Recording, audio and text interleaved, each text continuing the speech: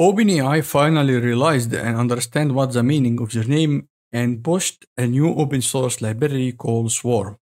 It's a new framework designed for orchestrating multi-agent system.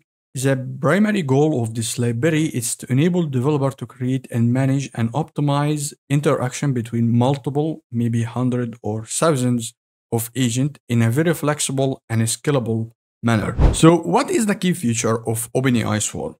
The first thing, it's a multi-agent coordination and execution library. It has the ability to coordinate between agents like CrewAI, if you know it, and it's also very controllable and you can use it even with other library or other large language model like I'm going to show you in a few minutes. I'm going to use it with the Llama 3 from Groq and I'm not going to use the OpenAI which is automatically integrated inside it. It's extremely lightweight. The one of the common question that developer have is how well does Swarm scale? As you can see here, well, Swarm is still an experiment. It's just a brand new library it designed as a lightweight enough to handle complex workflow with many agents. You can have thousands of agents deploy in the cloud and Swarm will dynamically orchestrate their interaction. This is a simple diagram for how the flow of Will work. We have here a simple question. What is the weather in New York? And this is an actual agent and this is also an agent. This the main agent that get the input or the question and have function called transfer to weather assistant, which is this agent. The weather assistant agent have a function called get weather and it passes the input, which is the New York City.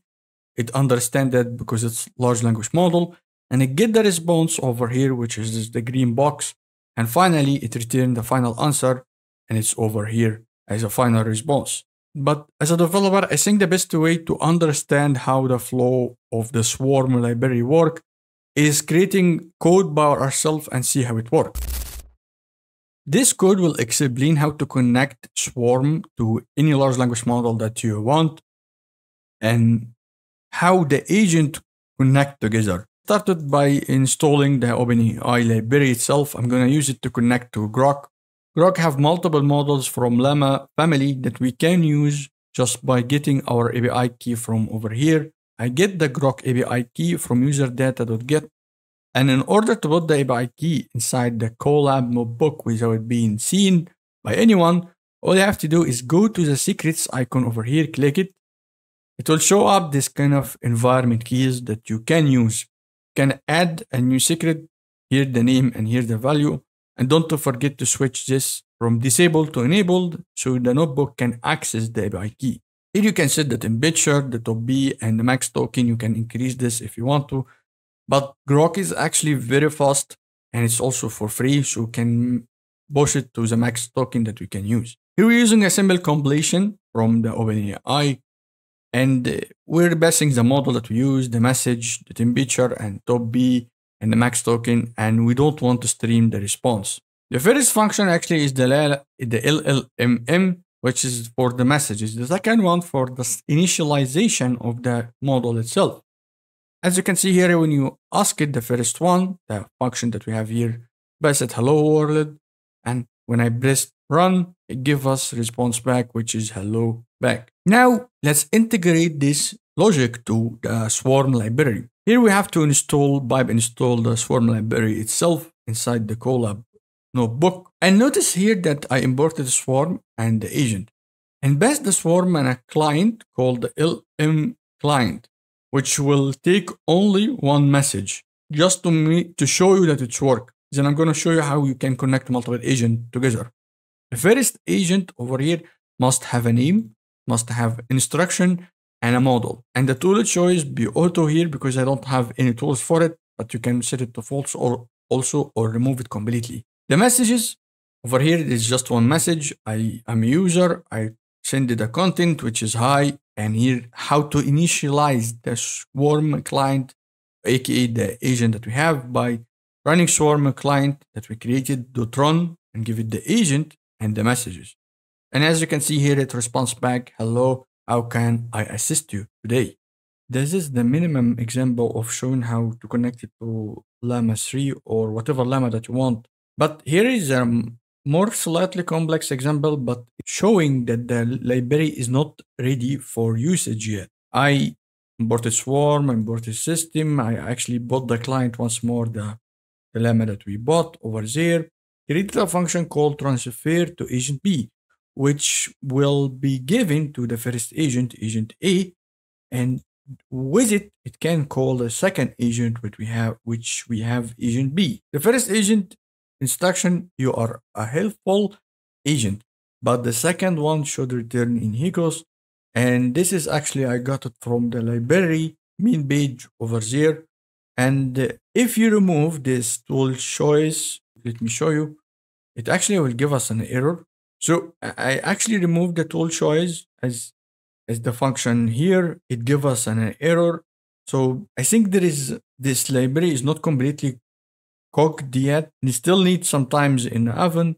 But if you bought the tool choice and it should be able to call the second agent. But here the response is kind of not correct 100% sure I can help you with that. Could you please provide me with the specific details or message you want to transfer to agent B? Did I call agent B? No that's basically the issue right now I'm having with the library. I know I should give you like the perfect flow of the video. This is library is amazing, but no, it's still not yet ready.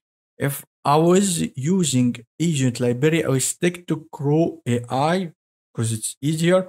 Or if you want to have functional uh, complete control, you will use LangChain and LangGraph. But it's a good start. I mean, like if you have one agent like this one, you can use it easily because it's right now connected to the Llama without using OpenAI. But before we end this video, I want to show you that actually someone is creating swarm.js and a new implementation in Node.js from the Swarm Python library. And it follows the same format, everything, and it's 100% JavaScript. And here is an example of how to use it. It's almost the same thing, but in JavaScript, Node.js here in a new agent, give it a tool, and the tool calling a function called transfer to agent B, and it give it the agent B, which is over here. Same thing, new agent name and instruction. Create a new Swarm client by giving it the OpenAI API key, and there is a uh, function that will invoke itself in the end that will get the response and send the messages to agent A, and should get the response in the end over here like Hope glimmers brightly, new paths converge gracefully, but I can assist. This is like the thing that I couldn't expect to be happening because it's already have been published like yesterday. So it's straight out. I don't know how he did it in just a fast time. It's brand new, like there is only 17 stars and three forks of this library and two watches. So if you're interested in the version of Node.js of this library, go follow this GitHub repo and I'm gonna leave the link for it in the description. And finally, if you found this video respecting your time and providing you with a valuable information, please hit the like and leave a silly comment for the algorithm and let me know if you had a better experience with this library and it didn't bug down with you when you used it.